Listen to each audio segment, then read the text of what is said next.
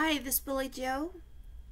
When I was in so much pain, extreme pain, um, still in 2007, and I wanted from the cervical dystonia, um, I wanted the pain to end, and I kept vocalizing it uh, until one day I was um, praying and I was um, singing a song to myself. Um, it's His Hands by Kenneth Cope. I was singing that song to myself. And then I got, I believe in tender mercies, but I had the thought come into my mind you are getting a glimpse of what the Savior went through for you.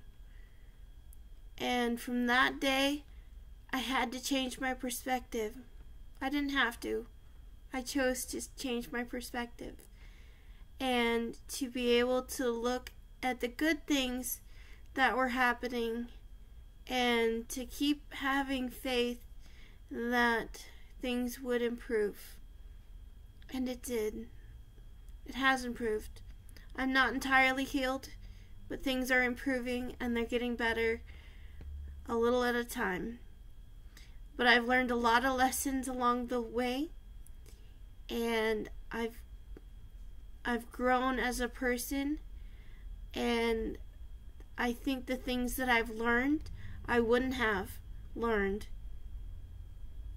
before the accident.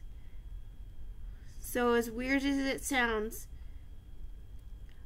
I like the person that I am now more than the person that I once was because I have more gratitude, I have more compassion to others, and I'm willing to try even if I don't feel good.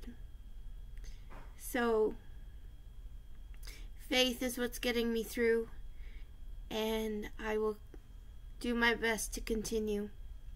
Have a nice day. I hope you can find something to smile about and to help you cope through the challenges and struggles that you go through. Please like and subscribe my, to my channel and I will put up more videos.